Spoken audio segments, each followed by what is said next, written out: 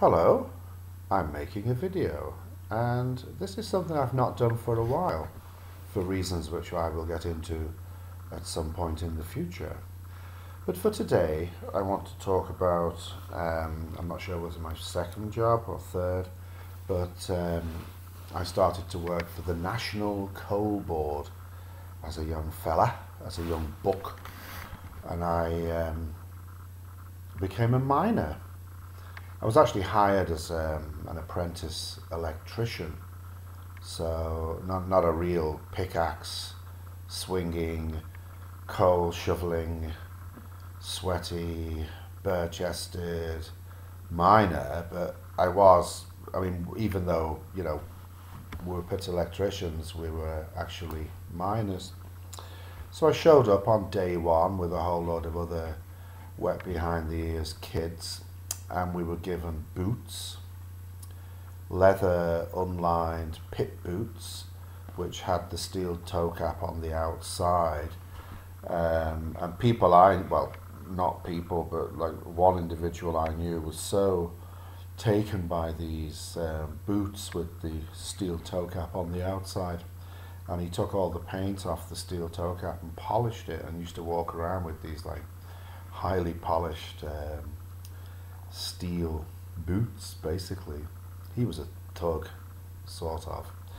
And they gave us, I think, a couple of pairs of overalls and a, a bright yellow safety helmet, which nobody liked. So we had all our gear, and then we were in this room. Um, we had to sort of like sign up, if you like, um, to agree to work for the National Coal Board, which was like as it says, the, the British coal producing body.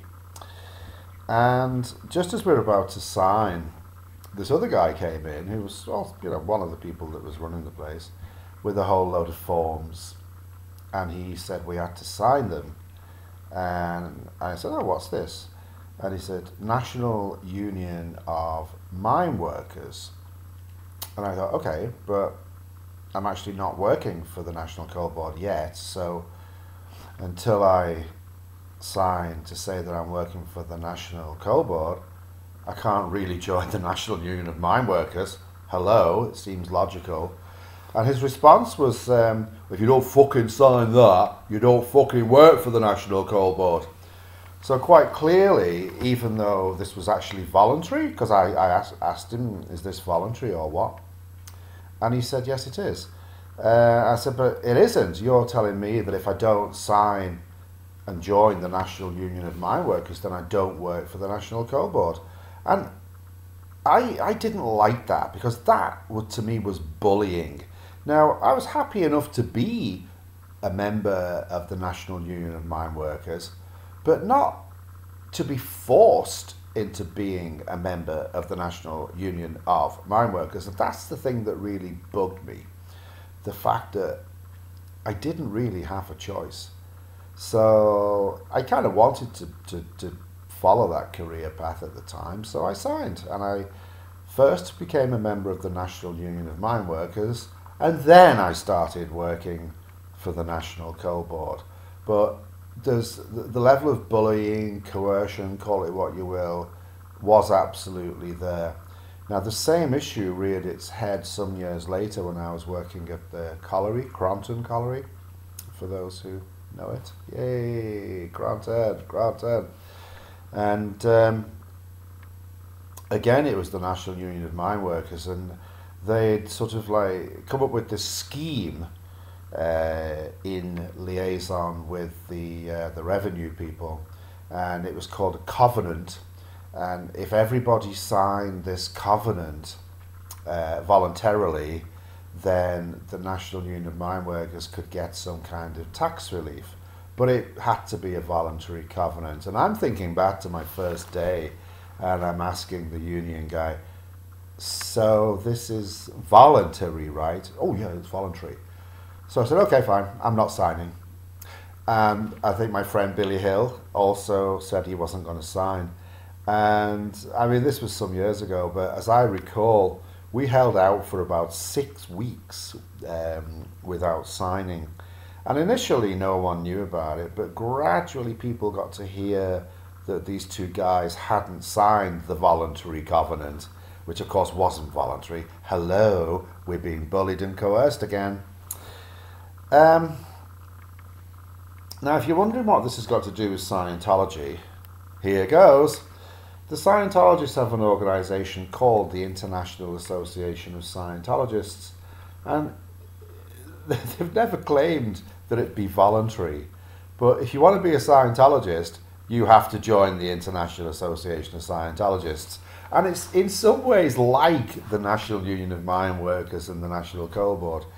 If you don't join the International Association of Scientologists, you can't do Scientology. You can't buy books. Now, I'm not suggesting that anyone should. In fact, quite the contrary, I'm suggesting that people stop doing it and run for the hills. But again, you've got this level of bullying and coercion.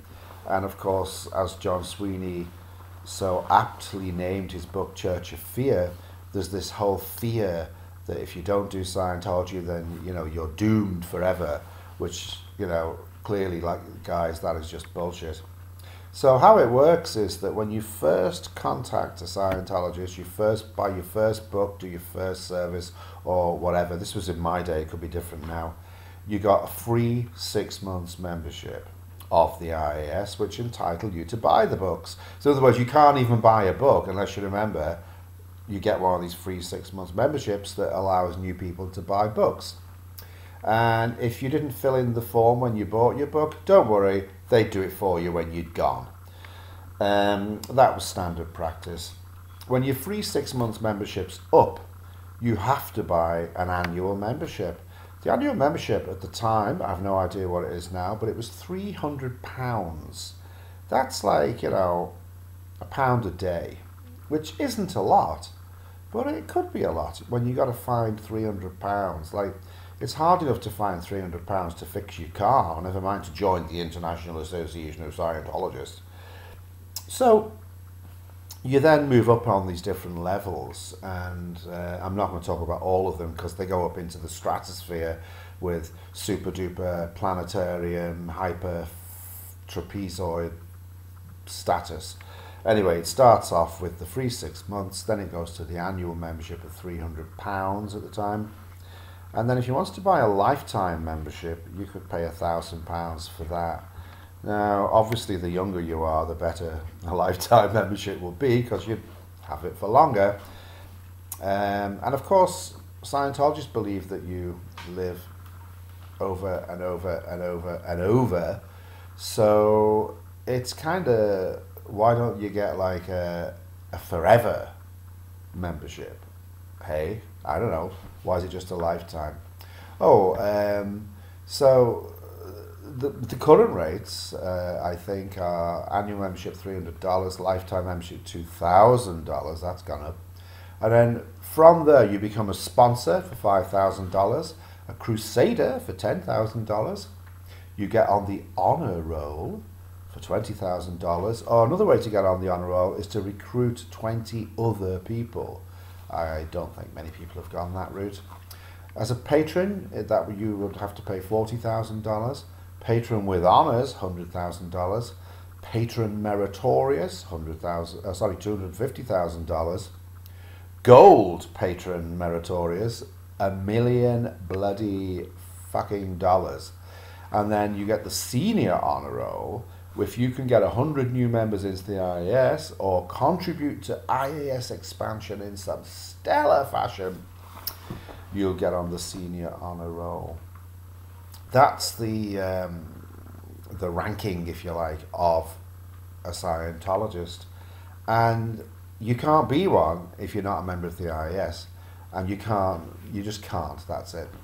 Now, the interesting thing is that. Uh, new levels are added and the it just gets absolutely bizarre. You've got platinum laureate, diamond laureate, patron Excalibur, and this goes on top of all these other.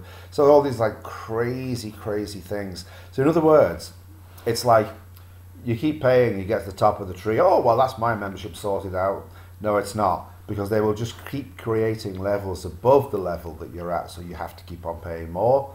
And guess what? You pay more and more each time. So someone like Nancy Cartwright, who's probably a diamond Maximus, has given $40 million to Scientology. For what? For nothing. It is, it's a scam, it's a con, we know that. Um, but it's the whole going back to the National Union of Mine Workers thing, it's, it's the bullying aspect, you know. Um, even in this so called uh, wonderful religion, they bully you into doing things that you don't want to do and coercion and it's just absolutely rotten because the Scientologists are doing it from the point of view that they know what's best for you. You haven't got a clue. You don't know. They know what's best for you. And that attitude, sorry, it ain't gonna work. Anyway, I've talked far too long, and it's a long time since I made a video, and I'm happy to have made one. And it is about Scientology in a roundabout way. Bingo. Good night.